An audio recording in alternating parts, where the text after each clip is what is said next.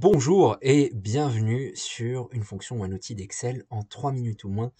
Au menu du jour, on s'intéresse à la fonction prendre qui va nous permettre de prendre soit les premières, soit les dernières lignes slash colonnes d'un tableau.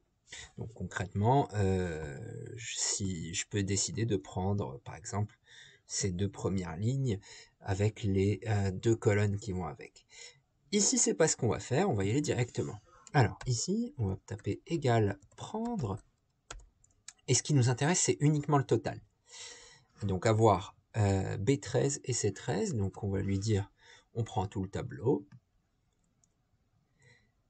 Ok. Combien de lignes? Eh bien, on va écrire moins 1. Pourquoi? Parce que quand on met un nombre négatif, ça veut dire par par la fin. Donc tu prends une ligne, mais à la fin. Donc on va mettre moins 1. Donc si on mettait 1, il nous aurait ressorti les deux titres. Si on met moins 1, il nous ressort total minima. Et ensuite, on veut deux colonnes. Pourquoi? Parce qu'on veut total et le montant qui va avec. Donc moins 1, 2. Une fois que c'est fait, on peut valider, et là il nous sort bien total 562 703.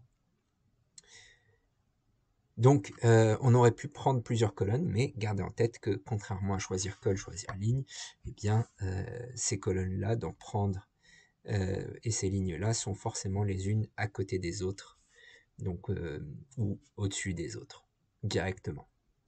Voilà donc pour la fonction prendre. On se retrouve dans une autre vidéo pour une autre fonction ou bien un outil d'Excel.